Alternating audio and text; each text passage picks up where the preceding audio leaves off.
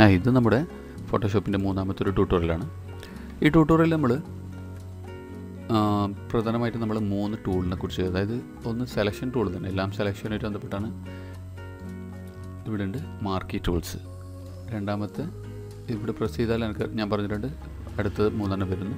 അതുപോലെ lasso tool പോളിഗോണിൽ magnetic tool പിന്നെ quick selection magic wand okay ഇത്രയും സെലക്ഷൻ ടൂളുകളെ കുറിച്ചിട്ടുള്ള അതായത് എത്രയും സെലക്ഷൻ ടൂൾ ഉപയോഗിക്കുന്ന ഒരു മെത്തേഡാണ് ഇവിടെ പറയുന്നത്. അതായത് നമ്മൾ ഓരോ ടൂൾസിന് അതായത് ഫോട്ടോഷോപ്പ് പഠിക്കുമ്പോൾ ആദ്യം നമ്മൾ ഓരോ ടൂളും എന്തിനാണ് എന്നുള്ളത് മനസ്സിലാക്കിയിട്ട് നമുക്ക് ടൂളുകളൊക്കെ മനസ്സിലാക്കി അതെങ്ങനെയൊക്കെ ഉപയോഗിക്കാമെന്ന് മനസ്സിലാക്കി കഴിഞ്ഞാൽ പിന്നെ നമുക്ക് ഒരുപാട് എന്താണ് സ്വന്തം സ്വയമായിട്ട് സ്വയം തന്നെ നമുക്ക് പലതും ചെയ്യാൻ പറ്റും.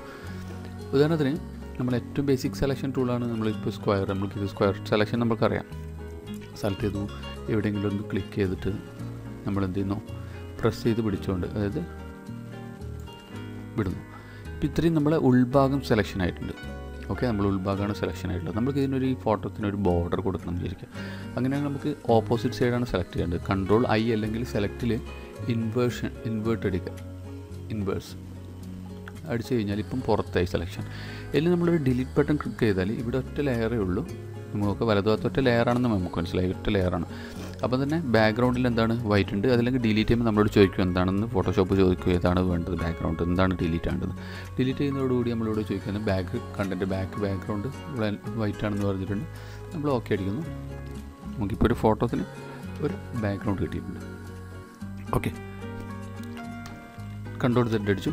ആൾട്ട് സെറ്റ് കൺട്രോൾ സെറ്റ് അടിച്ച്. ഞാൻ പോയി. സെലക്ഷൻ മാറ്റി. ഇനി അടുത്തതായിട്ട് അതേ സാധനം തന്നെ നമ്മൾ നമ്മളിപ്പം എങ്ങനെ ഡ്രാഗ് ചെയ്യുമ്പം എങ്ങനെ നമ്മൾ എങ്ങനെയാണ് വലിക്കുന്നത് അതുപോലെ വരും. അതേസമയം നമുക്കൊരു കറക്റ്റ് സ്ക്വയറാണ് വേണ്ടതെങ്കിൽ ഇത് നമ്മൾക്ക് ഒരു കറക്റ്റ് കൃത്യമായ സ്ക്വയറാണ് വേണ്ടതെങ്കിൽ നമ്മൾ സെലക്ട് ചെയ്യേണ്ടത് ഷിഫ്റ്റ് പ്രസ് ചെയ്ത് പിടിച്ചുകൊണ്ട് നമ്മൾ വലിക്കുക.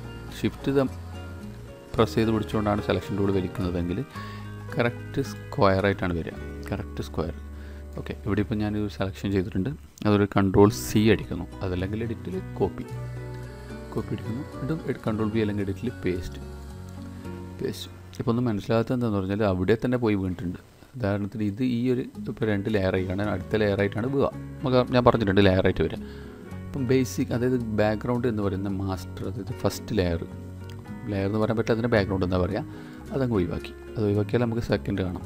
പിന്നെ നമുക്ക് സെക്കൻഡിനെ മൂവ് ചെയ്യണമെങ്കിൽ ഇവിടെ നിന്നുകൊണ്ട് നമ്മളിപ്പോൾ ഇത് വലിച്ചാൽ കിട്ടൂല. നമ്മളിപ്പോൾ ലെയർ ഉള്ളത് ബാക്ക്ഗ്രൗണ്ടിലാണ് ഇതെല്ലാം മൂവബിൾ അല്ല.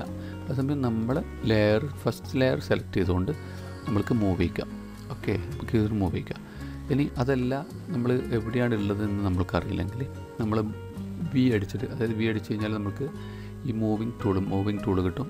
അത് ഇവിടെ ഇവിടെ പ്രസ് ചെയ്ത് ലൈറ്റ് റൈറ്റ് ക്ലിക്ക് ചെയ്താൽ ബാക്ക്ഗ്രൗണ്ട് കാണിക്കുന്നുണ്ട്. ഇവിടെ ക്ലിക്ക് ചെയ്യുമ്പോൾ നമുക്ക് രണ്ടെണ്ണം കാണിക്കുന്നത് ഇതിൽ ഏതാണ് സെലക്ഷൻ ഉണ്ട് ഇവിടെ രണ്ട് ലെയർ ഉണ്ട്. അത് ലെയർ വൺ ഓക്കെ ഇനി ലെയർ വണ്ണിന് നമുക്ക് പേര് ഇവിടെ ഡബിൾ ക്ലിക്ക് ചെയ്തുകൊണ്ട് പേര് മാറ്റാം. കോപ്പിയിട്ട് ആ പേസ്റ്റ് ഇടണം. എന്തെങ്കിലും നമ്മൾ അറിയുന്നു അതിന് കളർ ചേഞ്ച് നമുക്ക് പെട്ടെന്ന് മനസ്സിലാകാൻ വേണ്ടിയിട്ട് ഒരു കളർ എന്തെങ്കിലും കൊടുക്കണമെങ്കിലൊക്കെ കൊടുക്കാം. ഓക്കെ നമുക്ക് പെട്ടെന്ന് മനസ്സിലാകാൻ വേണ്ടി ഇതാണ് സെലക്ഷൻ ഇനി ഈ രണ്ട് സെലക്ഷൻ ഇത് നമ്മൾക്ക് ഉദാഹരണത്തിന് നമ്മൾ ഈ ഫോട്ടോ ഇവിടെ വെച്ചുകൊണ്ട് ഇത് രണ്ടും കൂടെ ഒരു ഫോട്ടോ തന്നെ ആക്കണം. അത് ഇതിന്റെ മുകളിൽ മെർജ് ചെയ്യണമെങ്കിലും നമ്മൾക്ക് ഓപ്ഷൻ ഉണ്ട്. ലെയർ ഓപ്ഷനിലാണ് ഇത് ഉണ്ടാകുക ഫ്ലാറ്റൻ ഇമേജ് വന്ന ഇപ്പം മെർജ് വിസിബിൾ എന്ന് പറഞ്ഞാൽ നമ്മളിപ്പോൾ കാണാൻ പറ്റുന്നൊക്കെ വിസിബിൾ ആവും. മെർജ് ഡൗൺ എന്ന് പറഞ്ഞാൽ താഴത്തേക്ക് വിസിബിൾ ആവും. ഫ്ലാറ്റൻ ഇമേജ് ഫ്ലാറ്റൻ ഇമേജ് എന്ന് പറഞ്ഞാൽ ഈ ഇമേജിനെ മൊത്തം ഫ്ലാറ്റ് ആക്കും. ഫ്ലാറ്റ് ഇമേജ് ഒറ്റ ലെയറായി ഇപ്പോൾ കൺട്രോൾ ആൾട്ട് സെഡ് അടിച്ച് വീണ്ടും പോവാണ്. ആ ലെയർ അതായത് ആവശ്യമില്ലാത്ത ലെയർ ഡിലീറ്റ് ചെയ്തത് അടുത്തത് അതിൽ നമുക്ക് സർക്കിളായിട്ട് സെലക്ട് ചെയ്യാൻ വേണ്ടിയുള്ള ടൂളാണ് അതും അതുപോലെ തന്നെ നമ്മൾ കൺട്രോൾ കൺട്രോൾ പ്രസ് ചെയ്ത് വെച്ചാൽ കറക്റ്റ് വട്ടം അതില്ലെങ്കിൽ നമ്മൾ കോവൽ ഷേപ്പിലും ഒക്കെ കട്ട് ചെയ്തെടുക്കാം. ഡിലീറ്റ് അടിച്ച് വൈറ്റ് കൊടുക്കുകയാണെങ്കിൽ കട്ട് ചെയ്ത് ഭാഗം മനസ്സിലാവും. കൺട്രോൾ കോപ്പി ആണെങ്കിൽ കോപ്പി ആവും. കൺട്രോൾ പേസ്റ്റ് അറിയാം. കൺട്രോൾ എക്സ് ആണെങ്കിൽ കട്ടാവും ഇപ്പോൾ ഏതായാലും ഡിലീറ്റ് അതായത് ഡിലീറ്റ് കാണിക്കാൻ വേണ്ടി മാത്രം. അതേപോലെ ഷിഫ്റ്റ് പ്രസ് ചെയ്ത് പിടിച്ചുകൊണ്ട് നമ്മൾ വലിച്ചാൽ കറക്റ്റ് സർക്കിളാണ്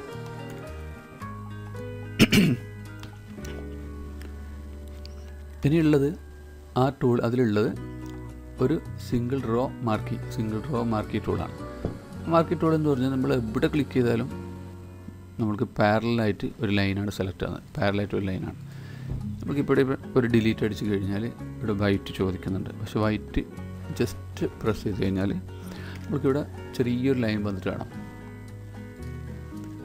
നമുക്ക് കുറച്ചുകൂടി അത് സ്ട്രോക്കാക്കി മാറ്റാൻ പറ്റും. അതായത് അതിനൊരു അതിന്റെ മുകളിൽ ഇപ്പോൾ നമ്മൾ സെലക്ഷൻ ഡിലീറ്റ് ആയിരിക്കും ബാക്ക്ഗ്രൗണ്ട് വന്നിട്ട് ബാക്ക്ഗ്രൗണ്ടാണ് അവിടെ കാണിക്കുന്നത് വൈറ്റ് നമ്മൾ കേട്ടിട്ടില്ലേ?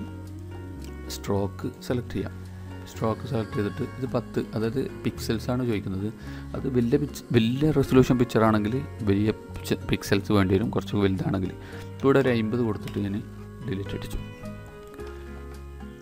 അപ്പോൾ അവിടെ ഒരു ലൈൻ സ്ട്രോക്കായി അതിന് അടുത്തത് വെർട്ടിക്കൽ അതായത് സിംഗിൾ കോളം എന്നുള്ളത് വെർട്ടിക്കലായിട്ട് എനിക്ക് ഇവിടെ ഒരു അതുപോലെ തന്നെ ഒന്ന് കൊടുക്കണമെന്നുണ്ടെങ്കിൽ ഒന്ന് ഡിലീറ്റ് അടിച്ച് കഴിഞ്ഞാൽ കാണാം. അവിടെ ഒരു വൈറ്റ് ലൈൻ വന്നിട്ടുണ്ട്.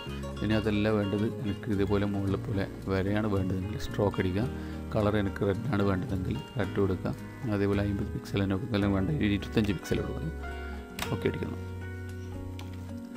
ഇപ്പോൾ ഒരു വെർട്ടിക്കൽ ലൈൻ വന്നു. അപ്പോൾ നമുക്കൊരു ലൈൻ ഇടാനും ഈ ടൂൾ ഉപയോഗിക്കാം.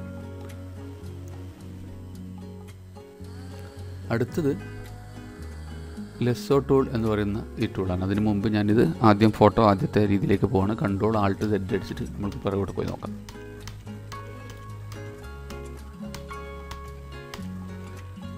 ഇപ്പോൾ ഫോട്ടോ പഴയ പോലെ ആയിരിക്കും. ഒരുപാട് അൺഡു ബാക്കോട്ട് പോയിട്ടുണ്ട്. ശ്രദ്ധിക്കുക കൺട്രോൾ ആൾട്ട് സെറ്റ് ഇനി ഞാൻ ലെസ്സോ ടൂൾ ലെസർ ടൂൾ എന്ന് പറയുന്നത് നമ്മൾ കണ്ട ഒരു കയർ കെട്ടിയ പോലെ തന്നെയുള്ള ഒരു ചിഹ്നമാണ് അതിൽ കാണിക്കുന്നത്. അത് നമുക്ക് നമുക്ക് നല്ല സെലക്ഷൻ നമുക്ക് നല്ല കി- കൊണ്ട് നല്ല കൺട്രോൾ ഉണ്ടെങ്കിൽ മൗസ് കൺട്രോൾ ഉണ്ടെങ്കിൽ നമുക്ക് കറക്റ്റ് കട്ട് ചെയ്തെടുക്കാൻ വേണ്ടിയിട്ടൊക്കെ ഉള്ളൊരു ടൂളാണത് ഓക്കെ ഇത് ഞാൻ കൺട്രോൾ എക്സ് അടിക്കുന്നു. കേട്ടോ? കൃത്യമായിട്ട് പോയി. ഇനി നമ്മൾക്ക് ഈ സെലക്ഷൻ തന്നെ സെലക്ഷൻ അങ്ങനെ തന്നെ സെലക്ഷൻ പോയിട്ടില്ല. ഈ സെലക്ഷൻ തന്നെ നമ്മൾക്കിപ്പം ഷാർപ്പ് എഡ്ജായിട്ടാണ് കളി പിന്നെ കട്ടായിട്ടുള്ളത് നമുക്ക് ഷാർപ്പ് എഡ്ജ് വേണ്ട എന്ന് വിചാരിക്കുന്നു അങ്ങനെയാണെങ്കിൽ സെലക്ഷനിലാണ് സെലക്ഷൻ മോഡിഫിക്കേഷൻ നമ്മൾ ചെയ്യുന്നത്. സെലക്ഷൻ റിഫൈൻ എഡ്ജസ് ഉണ്ട്.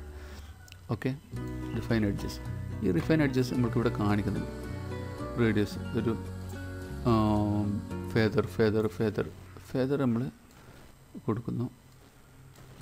ഉണ്ടോ നമ്മളൊരു ഫേദർ കൊടുത്തു. ഓക്കെ അടിച്ചു. ഇനി ഒന്ന് കട്ടോൾ കട്ട് ചെയ്ത് നോക്കാം. ഇപ്പോൾ കട്ട് ചെയ്താൽ ഒരു ഫെദറായിട്ടാണ് അത് എങ്ങനെയാണ് പേസ്റ്റ് ആകുന്ന നോക്കാം? അതൊരു കൺട്രോൾ എൻ അടിച്ചിട്ട് പുതിയതിലേക്ക് പേസ്റ്റ് ചെയ്ത് നോക്കാം. അവിടെ വേസ്റ്റ് പേസ്റ്റ് ചെയ്യുന്നു. കണ്ടില്ലേ? ഒരു എഡ്ജ് ക്ലിയർ ഇല്ലാതെ നല്ലൊരു ബ്ലറായിട്ട് എഡ്ജ് ബ്ലറായിട്ടുള്ളൊരു കോപ്പിയാണ് വരുന്നത്. അതെന്തുകൊണ്ടാണെന്ന് വെച്ചാൽ നമ്മൾ ഫ്ല ഫെദർ കൊടുത്തിട്ടാണ് കട്ട് ചെയ്തത്. ഓക്കെ ഈ ഫെദർ പെയിന്റ് ചെയ്യാനും കട്ട് ചെയ്യാനും ഒക്കെ ആ ഫെദർ മെത്തേഡ് ഉപയോഗിക്കാൻ പറ്റും. കൺട്രോൾ ആൾട്ട് സെറ്റ് കൺട്രോൾ ചെയ്യും അപ്പം അതാണ് ലെസ്സോ ടൂൾ ഇനി അടുത്തതാണ് പോളി പോളിഗണൽ ടൂൾ അതായത് നമ്മൾ ഒരു സ്ഥലത്ത് നിന്ന് ഒരു പ്രസ് ക്ലിക്ക് ചെയ്തു അടുത്ത സ്ഥലത്തേക്ക് കൊണ്ടുവരുമ്പോൾ ഇതിങ്ങനെ വരും. ഓക്കെ ഇനി ഷിഫ്റ്റ് അമർത്തി കഴിഞ്ഞാൽ ഷിഫ്റ്റ് അമർത്തി കഴിഞ്ഞാൽ ഒന്നുകിൽ നേരെ കുത്തനെ അതല്ലെങ്കിൽ നേരെ പാരലായിട്ട് പോകും അപ്പോൾ അതല്ലെങ്കിൽ എങ്ങനെ വേണം ഇതിപ്പം കണ്ടില്ലേ? ഫോർട്ടി ഫൈവ് ഡിഗ്രിയിൽ വീഴുന്നുണ്ട് ഷിഫ്റ്റ് അമർത്തിപ്പോൾ അപ്പോൾ നമുക്ക് അങ്ങനെയല്ല വേണ്ടത്. വേറെ ഇതൊക്കെ മോഡലാണ് അവിടെ ഇവിടെ ആയിട്ട് നമ്മൾ ഓരോ സ്ഥലത്ത് ക്ലിക്ക് ചെയ്യുന്ന കണക്കായിട്ട് ഓരോ ആങ്കർ പോയിന്റ് ഇട്ടിട്ട് പോയിന്റ് ഇട്ട് ലാസ്റ്റ് ഡബിൾ ക്ലിക്ക് ചെയ്യലോടുകൂടി അത് പൂർത്തിയാവും. അതും കൺട്രോൾ എക്സ് അടിച്ച് കഴിഞ്ഞാൽ കാണാം. ഇങ്ങനെയാണ് കട്ടായിരിക്കുന്നത് അതും ഇവിടെയും ഫേദർ ഉപയോഗിക്കാം നമുക്ക്. ഓക്കെ പിന്നുള്ള ടൂളാണ് മാഗ്നറ്റിക് ടൂൾ അടുത്താണ് മാഗ്നറ്റിക് അടുത്താണ് magnetic tool magnetic lasso tool magnetic lasso tool എന്ന് പറഞ്ഞാൽ നമ്മളൊരു സ്ഥലത്ത് ക്ലിക്ക് ചെയ്തുകൊണ്ട് നമ്മൾ അതിന്റെ മൗസ് കൊണ്ടുപോകുന്നതോട് കൂടിയിട്ട് അത് തന്നെ കമ്പ്യൂട്ടർ തന്നെ സ്വയം കളർ ഐഡന്റിഫൈ ചെയ്തിട്ട് എഡ്ജസ് മനസ്സിലാക്കും.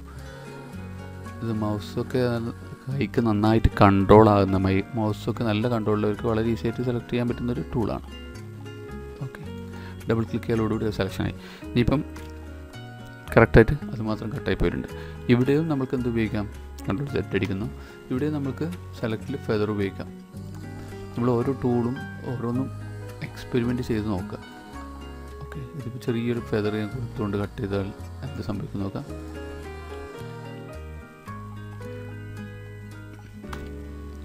അത് മാത്രം കട്ടായി അത് ഫെദറിൽ വെട്ടും. അതങ്ങനെയാണ്. അപ്പോൾ ഫെദർ എല്ലായിടത്തും ഉപയോഗിക്കാം. പിന്നെയുള്ളതാണ് quick selection tool quick selection tool ഇതുപോലെ തന്നെ നമ്മളിപ്പോൾ ഒന്ന് ക്ലിക്ക് ചെയ്ത് കഴിഞ്ഞാൽ ആ കളർ ചേഞ്ചിന് അടിസ്ഥാനം ഇവിടെ ഒരു മുപ്പത് നമ്മൾ കൊടുക്കും അപ്പം ഇവിടെ ഒരു പ്ലസ് ഉണ്ട് ഇവിടെ ഒരു മൈനസ് ഉണ്ട് ഇവിടെ നോർമൽ ഉണ്ട്.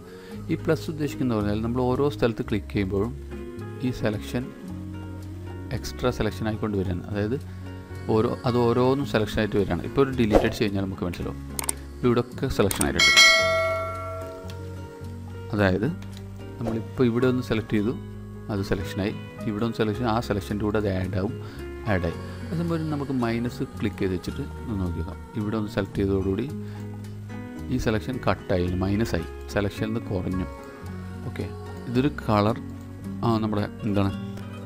കളർ മാച്ചിങ് കൂടെ നോക്കിയിട്ടാണ് അത് സെലക്ഷൻ ആകുന്നതും ഡിസെലക്ട് ആകുന്നതും അപ്പം ഇതാണ് ഈ ഒരു സെലക്ഷൻ ടൂൾ അതുപോലെ തന്നെയാണ് മാജിക് ബാൻഡും ഏകദേശം അതുപോലെ തന്നെയാണ്. മാജിക് ബാൻഡ് എന്ന് പറയുന്നത് നമ്മളിവിടെ ടോളറൻസ് വെച്ചിട്ട് സെലക്ട് ചെയ്ത് കഴിഞ്ഞാൽ ഇതിവിടെ ഇപ്പം ടോളറൻസ് കുറഞ്ഞതുകൊണ്ടാണ് എത്ര ടോളറൻസ് കുറയുന്നു അത്രയും ഷാർപ്പ് കളേഴ്സ് മാച്ച് ആണെങ്കിലേ എടുക്കുള്ളൂ.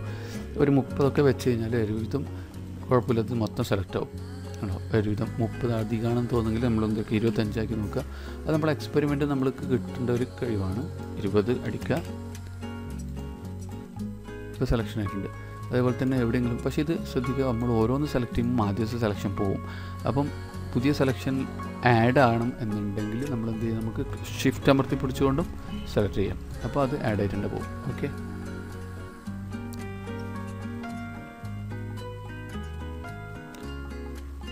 അതുപോലെ തന്നെയാണ് ഇവിടെ.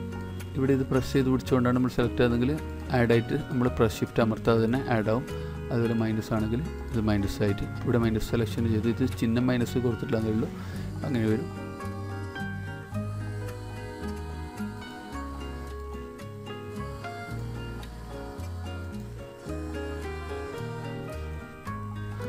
ഇത്രയാണ് സെലക്ഷൻ ടൂൾ അടുത്ത വീഡിയോയിൽ അടുത്ത ടൂൾ പരിചയപ്പെടുത്താം. അതുവരെ ബൈ ബൈ